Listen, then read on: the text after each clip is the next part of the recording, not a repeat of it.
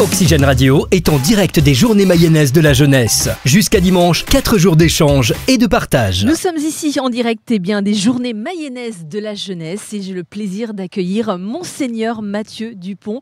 Vous êtes évêque, bienvenue. Merci. C'est un vrai plaisir de vous accueillir. Vous êtes eh bien, un jeune évêque. Tout jeune évêque, puisque je fête mes deux mois d'évêque de Laval. J'étais ordonné le 9 mars à Pontmain et installé à la cathédrale de Laval le 10 mars, il y a donc pile deux mois. Comment devient-on évêque? Comment devient-on évêque? C'est tout un programme. D'abord, c'est le, pape hein, qui nous nomme. Alors pour cela, il ne fait pas ça tout seul. Il euh, s'appuie sur le nonce apostolique en France, c'est-à-dire l'ambassadeur du Vatican en France, qui euh, mène, si j'ose dire, deux enquêtes. Une première pour avoir des candidats euh, aptes à devenir évêques et une deuxième pour voir quel est le profil qu'il faut pour être évêque de, de Laval ou du, diocèse qui est envisagé.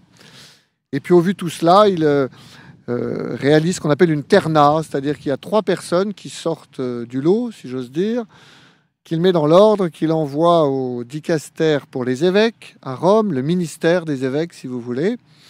Et là, le ministère des évêques vérifie un peu les choses et présente au pape trois, trois personnes dans un ordre. Et, le pape choisit. Alors, il ne fait pas que choisir en validant le premier, de, ce que j'entendais. C'est un, une de ses missions qu'il prend à cœur et donc il veille, bien sûr, sur dossier, et eh bien, à faire un bon choix. Ce que j'espère il a fait pour Laval, on le verra. On le verra. Comment vous est venue cette vocation? Est-ce qu'un jour vous vous êtes dit, eh bien, je vais devenir évêque? Alors, pas tout à fait. Quelle est votre histoire? euh, Quelle est mon histoire? D'abord, avant d'être évêque, on est prêtre. Avant d'être prêtre, on est diacre et encore avant, on est baptisé. C'est-à-dire que ça part de loin. J'ai 50 ans et donc j'ai été baptisé enfant. J'ai pu grandir dans une famille, euh, je dirais, pratiquante, sans être très fervente. On priait pas à la maison, on allait à la messe et j'ai beaucoup baigné dans le scoutisme. Et puis, euh, vers l'âge de 17 ans, je me souviens, c'était euh, à la fin de ma terminale. Si vous voulez, j'allais à la messe pour un peu rencontrer ceux qui étaient à la fin de la messe qui était assez sympathique, ce qu'il demeure. Et puis voilà, une forme de, tiédissement de, ma foi.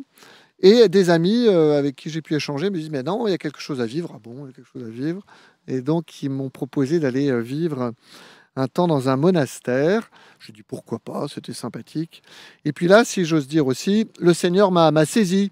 Il m'a saisi, une, vraiment une prise de conscience de sa présence à la messe, sa présence réelle, effective, mais dans mon cœur, j'ai dit au Seigneur, c'est très bien, tu existes, mais pas prêtre. Pourquoi? Parce que je trouvais ça trop facile de devenir prêtre. Mais oui, si tous les, les chrétiens devenaient prêtres, euh, il y aurait un petit problème. Et donc j'entamais les études de pharmacie. Et voilà, et durant les années de pharmacie, en deuxième, troisième année, j'ai dit au Seigneur, bah, écoute, si, si, ça me semble trop facile, peut-être pas obligé de se faire du mal, peut-être qu'il faut y aller. Et donc je lui dit, encore quatre ans pharmacie, ça dure six ans. Voilà, et au bout de ces quatre ans, je suis rentré au séminaire. Le séminaire, ça dure six ans aussi. Vous voyez, c'était. Et puis, euh, voilà, devenu prêtre en 2003. Mais j'ai été prêtre dans les Yvelines pendant 20 ans, euh, très heureux. J'ai commencé dans les cités de Sartrouville, en HLM. On sait pourquoi on est prêtre là-bas. Puis ensuite dans la banlieue de Versailles, et puis un, un, grand, un long ministère euh, au service de la formation des futurs prêtres. Donc à mon tour d'aider les jeunes hommes à discerner. Mais vous voyez, tout ça, ça prépare peut-être à être évêque, mais c'est pas pour ça que je, on ne postule pas. Voilà, j'ai eu, euh, je vous dis les petits détails, j'ai eu 50 euh, ans le 11 décembre et le 16 décembre, j'avais un coup de fil du nonce, l'ambassadeur, qui me disait on pourrait peut-être se voir. Je dis, bon, et donc le lundi d'après, je le voyais, et, voilà. Une très belle histoire, monseigneur. Et là, aujourd'hui, tout au long de ce week-end, vous accueillez les jeunes. C'est euh, une belle surprise pour vous, puisqu'en fait, vous êtes tout, euh, tout fraîchement euh, nommé.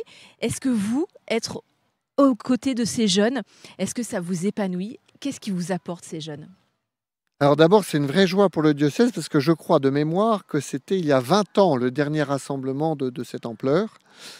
J'ai beaucoup œuvré, notamment dans mon début de ministère euh, en tant que prêtre, auprès des jeunes, fonder des patronages, des centres de loisirs, des camps, donc il y a quelque chose qui m'est pas totalement étranger. Euh, et, de fait, il y a une vraie euh, espérance à voir cette jeunesse qui est comme elle est. Hein. il ne faut pas ni l'idéaliser, ni la, j'allais dire, la médiocriser. Mais il faut l'accueillir. Et donc qui est là avec des motivations variées. Là, j'ai pu ce matin leur parler, les rencontrer, les saluer. Ils sont simples, ils sont heureux. Il y a quelque chose, je dirais, du visage de l'Église, peut-être plus modeste. On n'est pas 400 000, mais en Mayenne, il y a 330 000 habitants, donc de toute façon. Mais voilà, il y a une, jeunesse de toute la Mayenne, je tiens à le dire. Parfois on dit Laval, le sud de la Mayenne, mais du nord de la Mayenne, donc de tous les, les, établissements d'enseignement catholique, mais aussi des mouvements, des paroisses. Donc il y a un très beau brassage. Qu'est-ce que le diocèse de Laval va proposer aux jeunes dans l'avenir? Alors il propose déjà, il n'a pas attendu de se tourner les pouces. Eh bien, il y a d'abord euh, cette belle initiative qui existe dans d'autres diocèses, le PLVTT, qui rassemble plus d'une centaine de jeunes euh, et qui, euh, début juillet, sillonne un peu la Mayenne pour faire du VTT, mais aussi vivre quelque chose ensemble et finir à, à Pont-Main, bien sûr, on ne peut pas finir ailleurs. Il y a aussi euh, cette belle initiative que j'ai vécue récemment euh, du pèlerinage à Lourdes pour les jeunes hospitaliers. Qu'est-ce que c'est qu'un hospitalier? C'est un jeune qui est en seconde, première, terminale et qui va se mettre au service des malades. Donc on n'est pas non plus là confié en dévotion euh, dans une sacristie. Là, on se met au service, il y a quelque chose de très beau de cette jeunesse. Et puis, il y a une initiative pour les plus jeunes qui existe, à Pontmain aussi, décidément, l'école de prière. Et là, c'est pour tous les enfants du caté, eh l'occasion d'avoir un temps un peu particulier dans notre monde qui bouge dans tous les sens, d'intériorité. Et je ne vous dis que les initiatives du diocèse. Après, il y a chaque paroisse qui offre tel ou tel accueil, tel ou tel groupe que les uns et les autres vivent. Beaucoup de choses. Monseigneur, est-ce que vous trouvez qu'ici, euh, à Laval, il y a justement un mouvement particulier pour, euh, la religion et pour, euh, pour ce mouvement de bienveillance et d'entraide? Alors certainement qu'il y a d'abord une, terre qui a été beaucoup labourée, une terre, j'allais dire, chrétienne. Notre réseau d'écoles de l'enseignement catholique est assez important. Nous scolarisons plus de 42% des enfants et jeunes de la Mayenne dans le sud du département, plus de 60%, donc c'est pas secondaire. Et puis, euh, il y a, euh, pour répondre à votre question, peut-être une, une ferveur nouvelle, un peu plus simple, une ferveur qui sait se dire. Et ça, ce n'est pas propre à la Mayenne, mais ça existe en Mayenne. Monseigneur, merci beaucoup. On vous souhaite eh bien, euh, une très très belle journée, un très bon week-end avec ces jeunes. Et puis bah, surtout, belle continuation à vous. Un grand merci, à merci bientôt. À vous.